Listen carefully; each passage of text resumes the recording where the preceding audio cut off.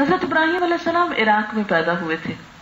वहाँ, जिस शहर में पैदा हुए उर के शहर में, वो एक बहुत बड़ा शहर था, जहाँ सख्त किस्म की बुत परस्ती पाई जाती।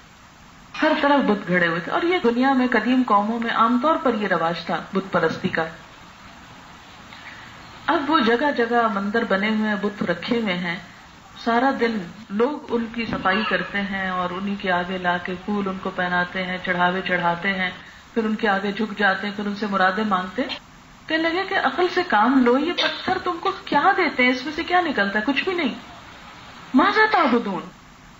इफ्कन आले तंदून अल्लाह ही तुरीदून। क्या झूठ मूठ के मबूदों को तुम अल्लाह के सिवा चाहते हो? इनके पास अपनी मुश्किलात लाते हो और अल्लाह ताला को छोड़ देते हो? किसने इनको खुदाई का दर्जा दिया? फिर क्या हुआ? वमा जन्नुकुम बिरब्बिल आलमीन। क्या गुमान है तुम्हारा रब्बुल आलमीन के बारे में? क्या वो तुम्हारी हाजात नहीं पूरी करता? क्या वो तुम्हारी मुश्किलात में काम नहीं आता? क्या वो तुम्हारी तकलीफें दूर नहीं करता? क्या वो तुमको रिस्क नहीं देता, औलाद नहीं देता, सेहत नहीं देता? क्या उसके खजानों में कुछ कमी है? क्या उसके इख्तियार महदूद हैं? क्या उसको कोई रोकने वाला है? नहीं। तुम फिर ऐसा क्यों कर रहे हो? फमाजन्नुकुम बिरब्बिल आलमीन। लेकिन लोगों ने कोई बात समझ के ना दी उनके दिमाग में ये बात आती ही ना थी। अच्छा क्यों नहीं आती? ऐसी अकल की बात भी कभी दिमाग में? इसलिए कि इंसान की ये नफ्सियात है और कमज़ोरी है कि जब वो एक खास माशरे में रहता है, जो कुछ वहाँ देखता है, उसी को अच्छा समझता है, वही कुछ करना चाहता है। बहुत कम लोग ऐसे होते हैं कि जिनके अंदर इतनी ज़रूरत और ताकत हो कि वो माशरे के मुरवजा कायदों, कानूनों, रस्मो, रवाज और तौर तरीकों के खिलाफ बगावत करें। कहा जाता है कि तारीख में सबसे पहले रैशनल थिंकिंग जो थी, वो इब्राहिम सलाम से शुरू हुई। सबसे पहले उन्होंने चीज़ों के ऊपर गौर करना शुरू किया कि अच्छा ये पत्थर इससे दुआ मांगते हो और रब्बुल आलमीन को छोड़ देते हो। ये तुम कर क्या रहे हो? लेकिन बाकी कोई उनकी बात समझा नहीं। उन्होंने कहा, अगर ये दलील नहीं मानते तो अब मुझे कुछ और करना पड़ेगा। तो बिल्कुल ऐसे ना जैसे आप अपने बच्चे को पहले समझाते हैं समझाते हैं, दलील देते हैं, सब कुछ, लेकिन जब वो नहीं मानता, फिर एक दिन आप जूता उठा लेते हैं। अब मैं इस तरह बनाऊँगा तुमको। हुआ ये कि इब्राहिम सलाम सोचते रहे कि किस तरह इनको मैं समझाऊं। उन्होंने प्रोग्राम ये बनाया कि इन बुतों को तोड़ा जाए। जब ये टूटेंगे और वो अपने आप को नहीं बचा सकेंगे तो शायद लोगों को होश आए और वो इतनी बड़ी गुमराही से निकल आए। कि बहुत बड़ी दर्जे की गुमराही है इन बुतों को पूजना। तो बहरहाल क्या हुआ? सारी कौम मेले पे जा रही थी। इब्राहिम सलाम को भी कहा गया कि तुम भी चलो। उन्होंने रात का वक्त था, आसमान पे थोड़ी देर देखते रहे। फिर कहने लगे कि मेरी तबीयत खराब है, मैं नहीं जा सकता। कहते हैं कि बहाना किया था, बहरहाल। हो सकता तबीयत खराब ही हो ये तो कहीं नहीं लिखा हुआ, नहीं थी और झूठ बोला था। लेकिन उन्होंने कहा कि मैं नहीं जा सकता। फतवल्लू मुदबरी तो वो उनको छोड़कर चले गए। ठीक है, नहीं जाते, ना जाओ। ऐसे ही ना, जैसे किसी शादी पे जाना हो, किसी फ़ंक्शन पे तो सब जा रहे हो कि कोई एक बीच में से स्लिप कर जाए मैं नहीं जाना चाहता। कहते अच्छा ठीक है, तुम्हारी मर्ज़ी, नहीं, तुम बोर होते नहीं जाओ। अब जो ही सब लोग चले गए और वो अपने काम में मस्त थे तो पीछे इब्राहिम सलाम को क्या सूझी? फराग इला आलिहतिहम, वो उनके इलाहों की तरफ़ चुपके से गए। फकाला तो उनको मुखातिब करके कहते हैं उन बुतों को अल्लाह ताकुलून, तुम खाते नहीं हो? तुमको जो खुदा माना जाता है, तुम खाते नहीं हो? मालकुम। वो फिर चुप, कोई जवाब नहीं। कहते, मालकुम, क्या है तुमको? लातन कौन बोलते भी नहीं हो। कैसे खुदा हो? ना कुछ खाते हो, ना हिलते जुलते हो, ना बोलते हो, ना जवाब देते हो। जब कुछ नहीं जवाब आया, फरागा अलहिम दरबम बिलियमी तो अपने दाएँ हाथ से ज़ोर की चोट मारी उन पर। अपने कुल्हाड़े से एक मारा उन पर, तोड़ दिया उनको। अकबलू इलेही यजीफोन, तोड़ के घर चले आए। लोग मेले से आए और आके सबसे पहले बुतों को सलाम करने को गए, देखा कि वो तो सब मुँह के बल नीचे पड़े। अब क्या हुआ? दौड़ते हुए इब्राहिम सलाम के पास आए। उन्होंने कहा, क्या तुमने तोड़ा है? कहने लगे, तुम जाके उस बड़े से पूछो। कहते कि बड़े बुत के गले में कुल्हाड़ी लटका दी और बाकी नीचे गिरा दिए। कहा कि वो तो बोलते नहीं। कहा, तुमको क्या हो गया है जो बोलते नहीं? उनके आगे झुकते हो। काला, अताबुदून मा तनहितून? उनकी इबादत करते जिनको तुम अपने हाथों से बनाते हो। खुद ही तराशते और खुद ही रखते फिर कहते हमारे खुदा हो गए। खुदा तो खालिक होता है ना कि मखलूक।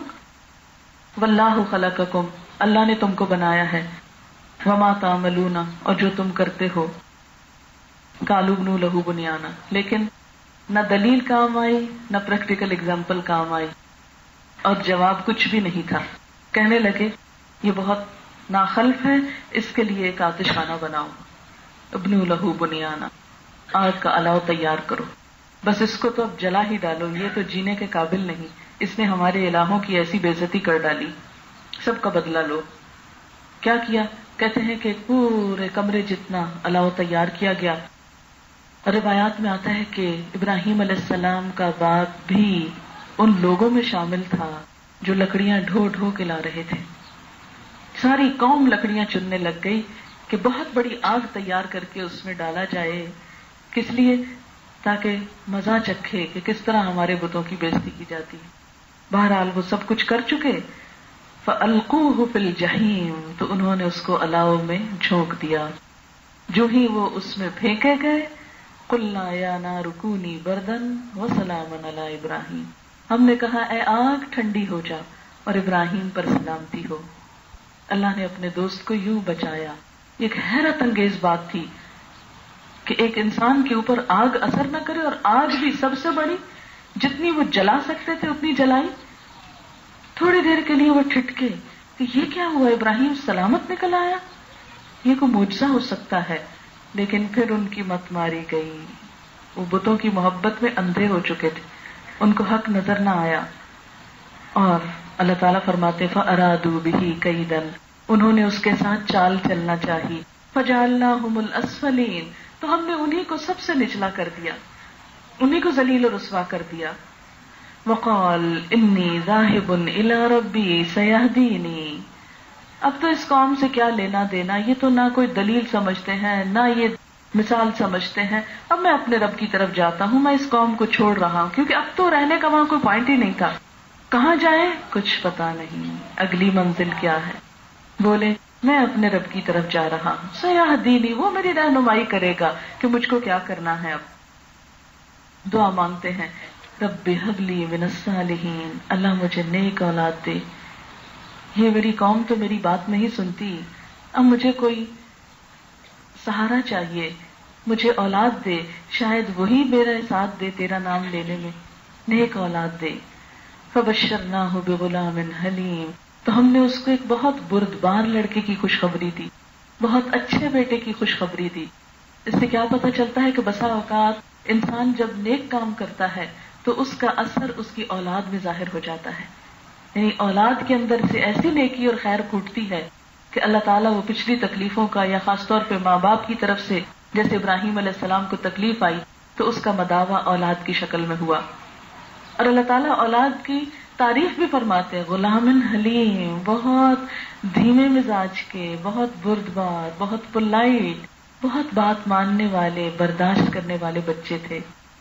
आज आप देखिए कि हमारा एक एक बच्चा हाइपर हुआ होता है ना, कोई बात सुनने को तैयार नहीं होता। छोटे छोटे माओ को पागल करके रख देते हैं।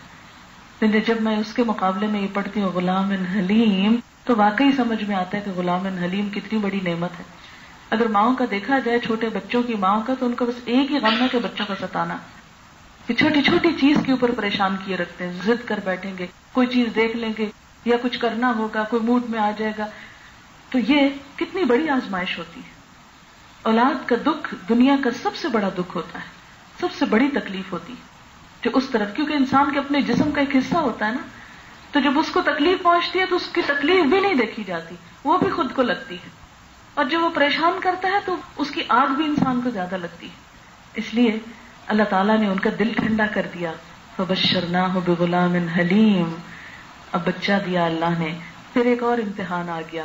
क्या हुक्म हुआ? बच्चे को वो दूर मक्का की बेआबो गया वादी में छोड़ाओ बस माँ और बच्चा। छोटा सा दूध पीता, न आसपास कोई दुकानें, न घर, न कोई इंसान, कुछ भी नहीं। हाजरा कहती है कि मैंने पूछा कि क्या ये अल्लाह का हुक्म है कि आप हमको यहाँ तनहा छोड़ के जा रहे हैं? कहा हाँ अल्लाह का हुक्म है। वो भी कहने लगी, अगर अल्लाह का हुक्म है तो वो हमको रुसवा नहीं करेगा। और वाकई क्या इज़्ज़त बख्शी कि आज दुनिया की सबसे ज़्यादा बारौनक, पुरसकून और लोगों के दिलों की तमन्ना वो जगह बन गई, जो बिल्कुल एक वीराना थी। इसलिए कि अल्लाह की उस बंदी ने एक छोटे दूध पीते बच्चे के साथ अल्लाह की बात भी मानी, शोहर की भी मानी। ये उस बच्चे और माँ की भी बहुत बड़ी कुर्बानी और आजमाइश थी। बहरहाल, अब क्या होता है? फासले हैं बहुत तवील। वापस फलस्तीन आते हैं। तबलीग का काम शुरू करते हैं। पैगंबर अल्लाह ताला उनको बनाते हैं। फिर जब पलट के जाते हैं तो बच्चा टीनेजर हो चुका होता है। फलम्मा बलगमा अबुसाई अब बाप के साथ दौड़ धूप की उम्र को पहुँच गए। यंग बेटा कि जो बाप का सहारा बन सके, साथ दे सके। इब्राहिम सलाम ने दुआ मांग के लिया था। और कुदरती बात है ना कि फिर अपने ही औलाद को देख के इंसान का दिल कैसे खुश होता है ना कि अच्छा बच्चे बड़े हो गए, अब ये कुछ करने लगे। आपने देखा होगा कि घर में बहुत से नौकर भी हो, लेकिन अगर अपना बच्चा कोई काम करके देते तो क्या दिल ठंडा होता है ना? तो छोटी सी कोई चीज़ उठा के लाए, कुछ करे, एक कुदरती सी बात है। तो उसमें वो बच्चा जब दौड़ धूप की उम्र को, मदद करने की उम्र को पहुँचा तो इब्राहिम सलाम को ख्वाब आ गया। अल्लाह ताला का हुक्म हुआ, इब्राहिम, ये बेटा अल्लाह की मोहब्बत में थोड़ा आड़े आ रहा है, क्योंकि औलाद आजमाइश भी होती है ना। जब औलाद मिलती तो इंसान उनकी खातिर बसा औकात गलत काम भी करता है बाज औकात उनके लिए अल्लाह के कुछ हुक्म भी पामाल कर देता है। तो अल्लाह ताला क्या तकाजा करते हैं बंदे से? कि मेरी मोहब्बत हर मोहब्बत से आगे हो। चाहे औलाद हो, चाहे कोई, मुझसे आगे कोई ना हो। अब क्या हुआ? इब्राहिम सलाम उस बच्चे को ख्वाब में देखते हैं कि जबा कर रहे हैं। जब उठते हैं तो पता चलता है कि ख्वाब है। बेटे से ज़िक्र करते हैं, बेटा, मैंने ख्वाब में देखा है, तुझे जबा कर रहा हूँ। फिर बेटा भी कैसा? गुलाम हलीम। कहते हैं, फनजुर माजा तरा, बेटे देखो तुम तुम क्या कहते हो? इम्पोज नहीं किया। बताओ क्या कहते हो? काला या अब तिफाल मा तो उमर। कहा, अब्बा जान, जो हुक्म मिला है कर डालिए। सतजिदनी इंशामिन साबिरीन आप मुझे साबिरों में से पाएँगे। मैं आपके साथ तावन करूँगा। कोई शिकायत नहीं करूँगा। फलम्मा असलमा। फिर वो जब दोनों ही अपने आप को अल्लाह के हवाले कर चुके, दोनों ने अल्लाह की बात मान ली। वो तल्लबीन और बच्चे को पेशानी के बल लिटा दिया। वो नादईना हो अय्या इब्राहिम। और हमने उसको पुकारा इब्राहिम, कद सदख्तर रुया, तूने ख्वाब सच कर दिखाया। मैंने तो ख्वाब में तुझको दिखाया कर तूने हकीकत बना दी ये बात। इन्ना कजाले का नजजिल मोहसिन बेशक हम नेकोकार लोगों को ऐसी ही जजा देते हैं। इन्ना हाजा लहुअल बलाउल मुबीन। यकीनन ये सरी आजमाइश थी खुली खुली आजमाइश थी। वफदईना हो बिजुब नजीम, और हमने उस बच्चे को छुड़ा लिया एक कुर्बानी के ज़रिए। कहते हैं कि जब्राईल सलाम ने उसकी जगह एक मेंढा ला रखा। इब्राहिम सलाम ने आँखों पे पट्टी बाँध के बेटे के गले पे छुरी रखी थी। जब आँख पट्टी खोली तो देखा कि उसके बजाय एक मेंढा जिबा हुआ पड़ा है और बेटा पास खड़ा है। वो तरकना अलही फिल आखिरीन। हमने उसका ज़िक्र खैर, उसकी शोहरत बाद की नस्लों में बाकी रख दी कि वो नाम कभी खत्म न हो। सलाम इब्राहिम, सलाम हो इब्राहिम सलाम पर। कजाले का नजजिल मोहसिन नेक लोगों को हम ऐसी ही जजा देते हैं। सिर्फ़ इब्राहिम नहीं, इब्राहिम सलाम के बाद जो भी कोई मोहसिन होगा, ऐसे काम करेगा, अपनी अज़ीज़ तरीन चीज़ अल्लाह की राह में देगा, उनको भी हम ऐसा ही बदला देंगे। इन इबादिन वो हमारे मुमिन बंदों में से था। मुबशरना हुब इसहाक हमने उसको इसहाक की बशारत भी दी। नबीन जो नबी हुए मिनसालहीन साले लोगों में से थे, नेक लोगों में से थे। वबारक ना अलही व अला आल इसहाक। इसहाक और उनकी औलाद पर हमने बरकतें नाजिल की, बनी इसराइल की तरफ़ इशारा। हम इन जुर्रियत और इन दोनों की औलाद में से, यानी इस्माइल सलाम की औलाद में से और हज़रत इसहाक की औलाद में से मोहसिन कुछ तो बहुत नेक लोग निकले। बहुत अच्छे निकले, व जालिमन और कुछ जालिम निकले अपने ऊपर जुल्म ढाने वाले। क्योंकि जब इंसान को गलत काम करता है, किसी को सताता है तो दरअसल अपने ही लिए बुरा करता है। जब हम किसी को सताते हैं, किसी का बुरा चाहते हैं, किसी से धोखा करते हैं तो खुद अपने लिए करने को जायज़ करार दे देते हैं। कोई किसी को गाली देते इसका मतलब उसने अपने आप को पेश कर दिया, लाओ तुम भी मुझको दे दो अब। क्योंकि बुरा करने का नतीजा तो बुरा ही होगा।